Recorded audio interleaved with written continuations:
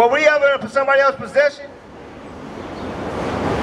Was our foremothers, our ancestors in somebody's possession? Who? Slavery, right? This was when we was in somebody else's possession, right? Was that love? Was that saying God love everybody back then? Who told us God love everybody? The Bible? No, no. I'm saying the white man taught us the Bible. Did you know during slavery we couldn't read for 400 years? So who taught us everything we know? Right. You think he taught us right? So why we why do we believe everything that was taught to us?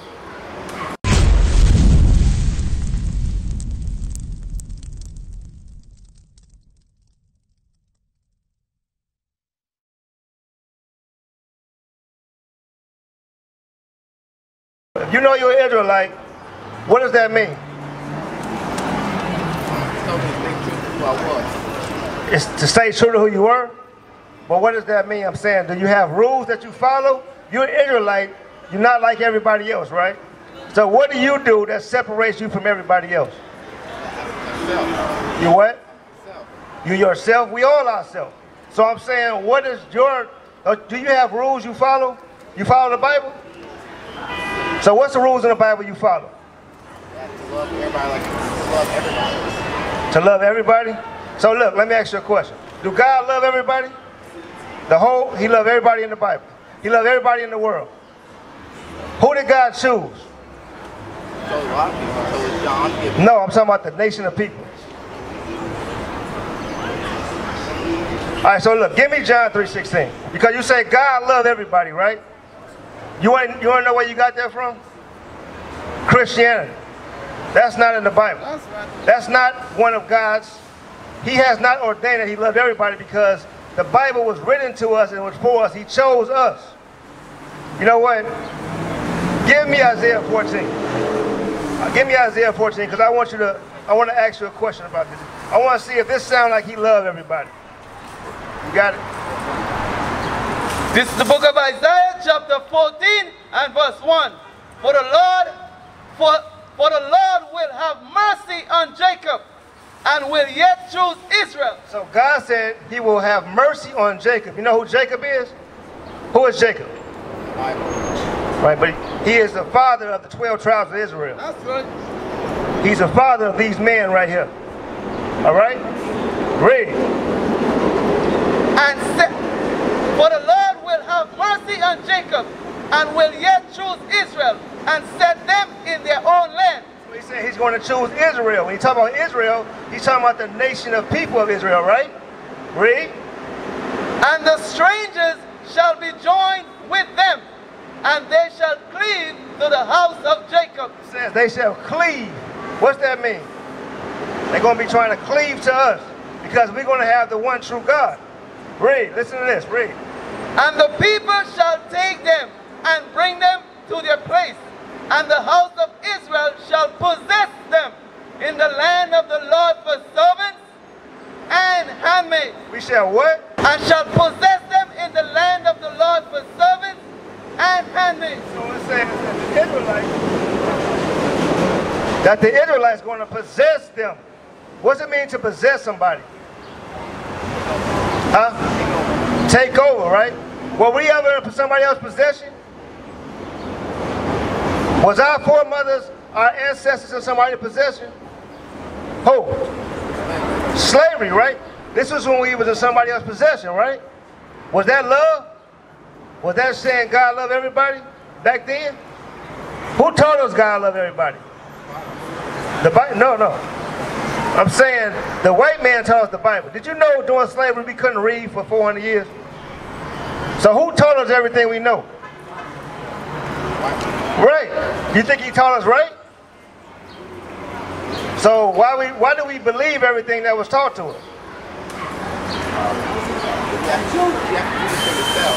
You got it. But listen, I'm, I'm showing you something about the Bible. Did you know that was in the Bible that we was going to possess somebody, that Israelites is going to possess somebody? And read that again. And the house of Israel shall possess them in the land of the Lord for servants and maids, and they shall take them captives, who captives they were. It says, they shall take them captives, whose captives they were. Eric. You hear that? Gonna take them captives. So that's not loving everybody. That's not loving everybody. God does not love everybody because he made the world for us. Give me that and Ezra, yeah, Ezra, right. 6 verse 54. So I'm gonna show you who God made the earth for. Because did, did, the- did God make the earth for? He made the world for everybody? White, black, Hispanic, Indian, everybody, right? I'm gonna show you who he made the, wor- the world for. Read. This is the book of Second Esdras, chapter 6 and verse 54. And after these, Adam also, whom thou madest Lord of all thy creatures, of him come we all. So we all come from Adam, right, Eric? We all come from Adam. Everybody on the earth. Read. And the people whom thou hast chosen. All this have I spoken before thee. Who did God choose? He chose Adam. No, he chose people after Adam. That's what we that's what we're discussing right now. Read. This is the book of Isaiah, chapter 44 and verse 1. Yet now, hear, O Jacob, my servant, and Israel, whom I have chosen. So, Eric, who did who did God choose? No, listen, listen up. Are you paying attention? Listen up. He just gave you the answer. Read. Yet now, hear, O Jacob, my servant, and Israel, whom I have chosen. So who did God choose? Israel, right? He didn't choose everybody. So that's what we're talking when we go back to second Esdras, it's talking about the people he have chosen. Read.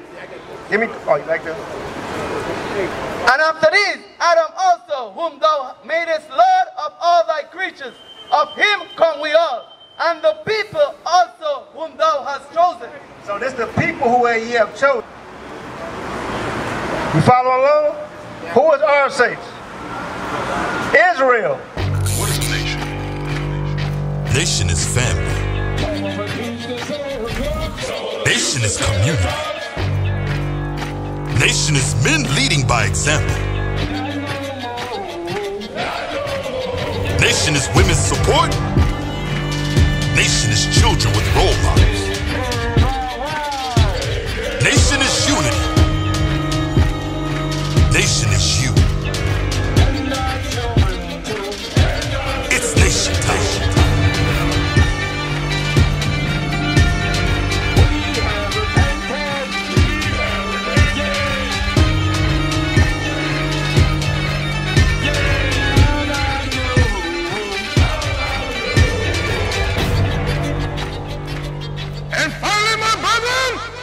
be strong in the Lord.